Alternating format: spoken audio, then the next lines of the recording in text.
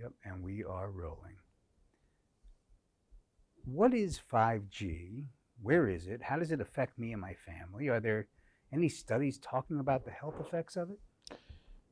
Uh, 5G is the next generation telecommunications service. There's been 1 to 4G before it. Everything you use today is 4G. 5G is the next generation that almost fundamentally changes how the infrastructure of services change. They're using a combination of various known technologies, stuff that have been around for a long time in the 4G space, and then there's some new stuff in the 5G, particularly them, those that are the small cell towers that are being in front of your home. So it's a combination of a whole lot of things merging together to provide end-to-end service. It's, it's service that is orders of magnitude more speeds. It allows far more density of use. There's so many benefits that are being uh, established in the industry. The flip side of that, of course, there's not been one study that says the new technologies being delivered are safe. So what we're finding is that when they're using certain aspects of this network, we're going into a new domain. And to answer your question about is it dangerous to your family? No one can tell you that. Why? We have no idea through research or study if it's dangerous or not.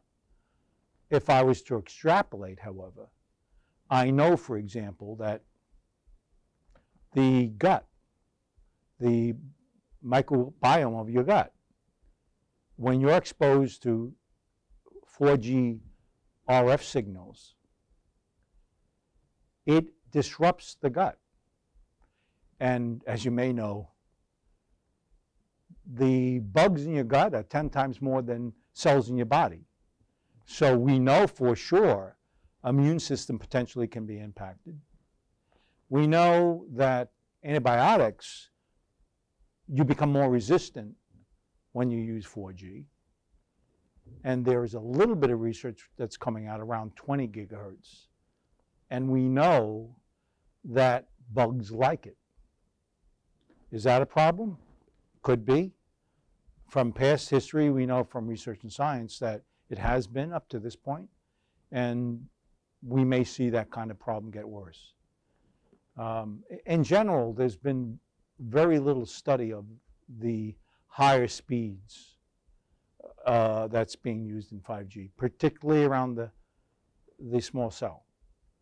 And that small cell, typically over the next year or so, is going to be around 23 gigahertz to about 60 gigahertz. They use technology in which they take antennas the, the, uh, the, the uh, phase array of the antennas, and they actually can target a signal directly towards you and your cell phone. In fact, it's going to look for where you are, and it's going to focus on that. When they do, they're using multiple paths of data, MIMO, multiple in, multiple out. That's going to focus into that cell phone, that router, whatever the, the, the end point is, and that's twice the number of transmission signals currently today. You have one signal going to you today, and um, then in 5G cell towers, uh, the small cells, they're going to be two. Is that going to be a bad situation? I don't know. No one can tell you. But one for things for sure, we should be careful as we move ahead.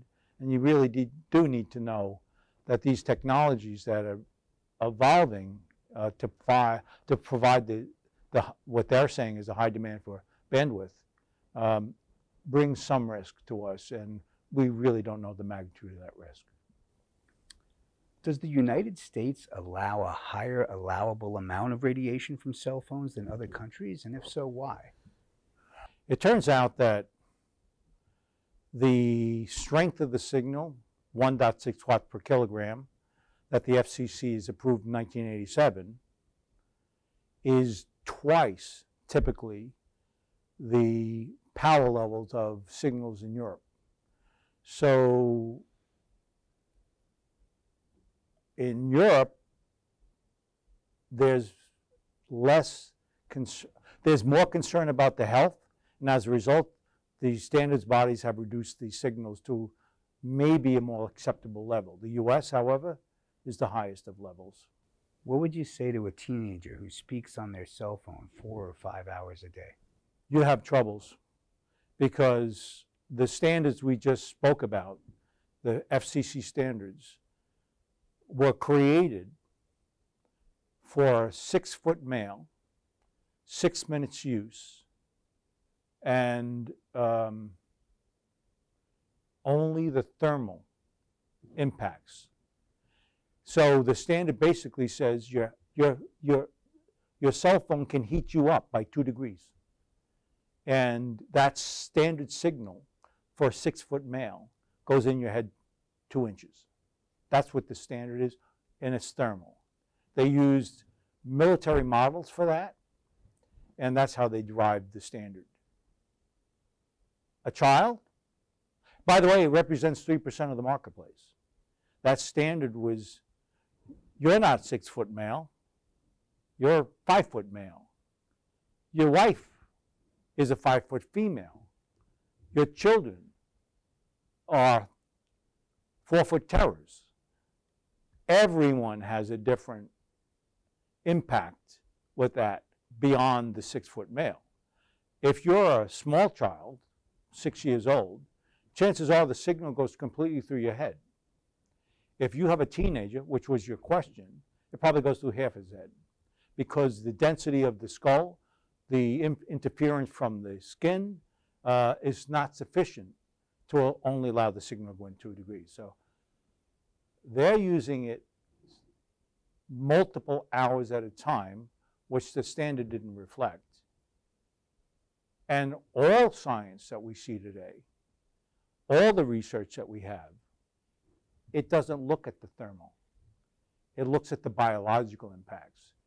Anger of our kids, Alzheimer's, ADHD.